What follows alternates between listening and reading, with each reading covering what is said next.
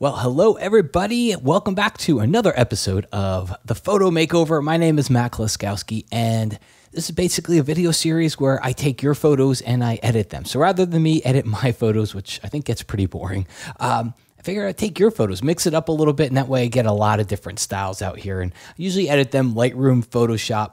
Um, I, I basically I will edit it using whatever I would do if it were my photo. So if it requires a plugin, if it requires something different, um, I'll go ahead and use that. All right.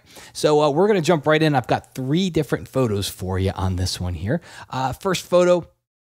I would say one of the first things I want to do is warm this one up with the temperature slider. All right. Um, you know, our lighting's not great. It's uh, yeah, it's just it's not taken at a great time of day. There's there's no warm light coming through here or anything like that. And I think light could help carry this scene because it's it is very cluttered. There's a lot going on here. So we're definitely going to warm it up. Uh, let's see here. Whites and blacks, I always option or alt click and uh, do whites and blacks. The sky's blown out up there, so of course that's gonna it's gonna show pretty quick. Blacks, option or alt click, drag to the left side, so that gives me a good black point. Nothing really in the shadows. Again, there's nothing I can do with those highlights because they're they're just uh, it's just blown out up there. In fact, what we'll do is we'll grab the crop tool. I'm gonna pull it down a little bit I'm going to try to get some of that area out. Not all of it, but some of it. And you're going to see why I could edit this two different ways. I could edit it where I cropped it all out, but you're going to see why when I jump over to Photoshop, why I'm going to leave a little bit of that over there.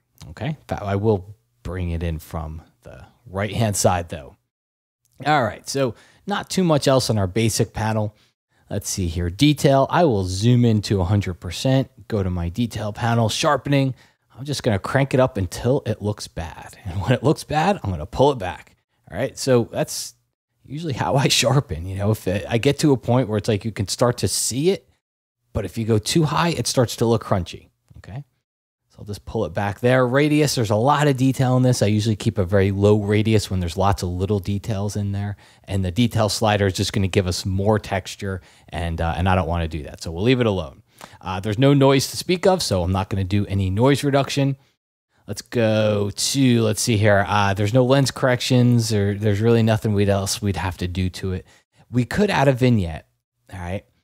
And I think a vignette is really what kind of ties this one together. Kind of, it kind of lets us bring in and focus over here more. Of my problem uh, with the vignette is that you could see it, it kind of goes toward the center. So what I would say instead go and grab the radial filter, all right, bring the exposure negative, and then let's just drag a little spotlight right around there.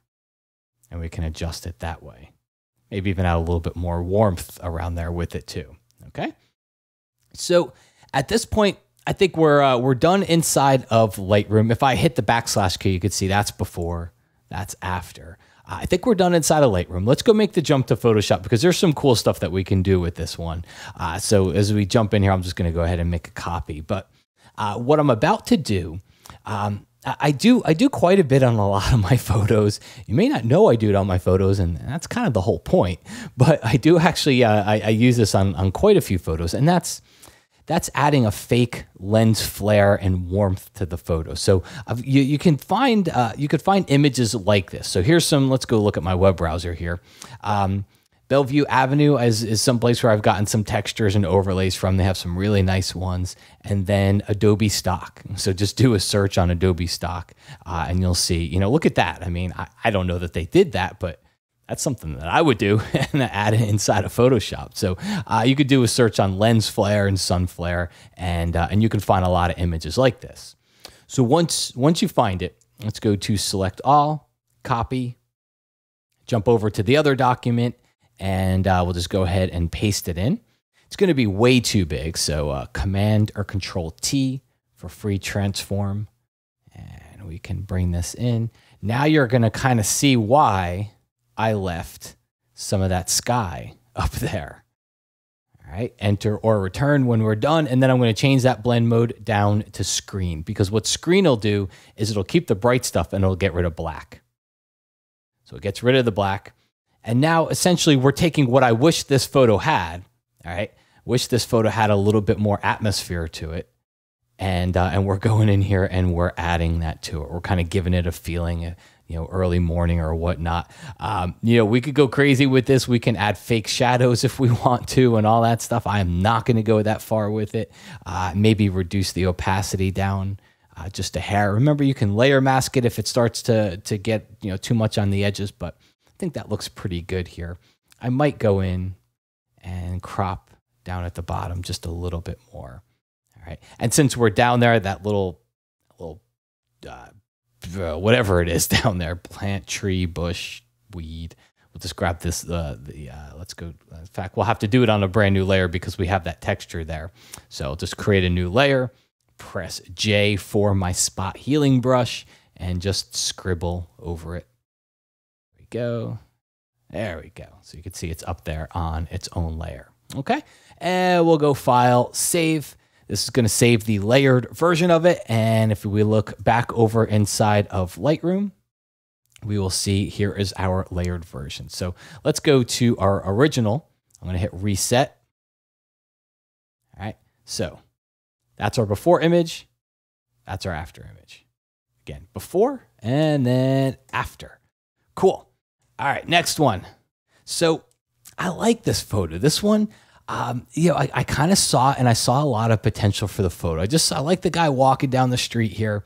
Couple of things where where we could have some problems with, and so what I would say to this person is just kind of understand understand ahead of time where some of our limitations were going to be. So if we zoom in on the photo, we could see uh, definitely a little bit blurry. He's sharp enough though, but we definitely have some blur going on here. So we just we'd have to be careful because I'm I'm I'm I'm gonna want to crop this. So we'll go in here and we'll crop it up from the bottom right. I'm deliberate like I want to I, I don't I want to get this out, but I don't want to crop I don't want to crop it away. So we're gonna have to leave it for now. And um and so you know as we crop in there, just kind of remember our output options when we get to this point. You know, uh, we may be a little bit limited on how big we could print something like this. All right, uh, we are gonna go we're going to go black and white on this one. All right, so I'm going to hit the letter V, V for Victor, and that converts us over to black and white. Uh, to me, black and white is a lot about contrast. It's a lot about the light. Where, you know, the light in the photo stands out more so than in a color photo to me. So uh, hold down the Option or Alt key, click on the whites slider, and we're going to push that quite a bit. Same thing on the black slider the other direction. Uh, I'm going to open up my shadows a bit here. I think lots of clarity. Lots of clarity gives us some more contrast. All right. And then, uh, and then to me, this one's gonna we'll we'll sharpen it as much as we can. I'll zoom in here, and uh, let's grab the amount slider. We'll sharpen that as much as we can without adding too much of that texture back there. All right. And to me, this one again, this one is is gonna be be tremendously helped by a strong vignette. I'm not going to do the vignette because he's off to the side a little bit. So we're going to go do the same exact thing and grab the exposure slider for the radial filter. I'm just going to drag a little spotlight right around him. Maybe feather it a little bit more like so. All right. And we could, again, we could go pretty dark with this. I'm also going to go to the brush and I'm going to bring up the exposure a little bit and I'm just going to paint just over here on these people. I like I like how the people are in the photo. I don't want them to get too dark in that background back there. All right. So let's close that up. This can sometimes be a job for Photoshop. We're gonna go grab our our uh, our spot healing brush up here, and here's what I found. If I go over here and if I if I try to go in there and heal the image, all right, we're going to see. that works great. Uh, we can go over here and kind of pull that down. Healing is melding between the two. And there's there's a pretty big, like, you know, it's a garbage can. It's dark and then it's bright behind it. And so healing is going to meld between the two, but cloning should look a lot better. Okay. So if I close that, I, I would challenge most people who didn't know what this photo started off as. I would challenge most people to ever figure that out. Okay. Um, so at this point, you know, th- there's not too much else we can do to it. Uh, if I needed to, I would have jumped over to Photoshop to get rid of that. But I'm not going to go to Photoshop just to to go to Photoshop. To me, um, there's nothing else that's uh, that that I think that Photoshop can help with this. Um, maybe a grad filter here bring the exposure down and see if I can bring it up from the bottom. All I'm trying to do is just really draw attention to that, that guy walking down the street there. And uh, if I did anything to this, I might go into split toning just as a final little move. Uh, add a little bit of a, a golden hue and some saturation. Not much, like look at 5%, just add a little color, just a, a, little bit of a richer tone to the photo here. All right, so let's have a look. Hit the backslash key. That's before, and that is our after. All right, moving on to our last photo here. Uh, yo, uh, nice photo. I like the. Uh, got a hazy feeling to it. Nice, nice landscape going on. We got a really bright sky, and the first thing I, I would do, you know, I wanted to make sure we still have all the detail up there, so it's it's not as if it's gone. But honestly, I'd go in here and I, I'd, I'd crop this in a bit. All right, I think I think this is a focal point. I think you know the atmosphere going on back here is a focal point. I don't think we need all this space uh, down here. I think the closer we get to some of these layers that we have, uh, I think the better the photo looks. All right.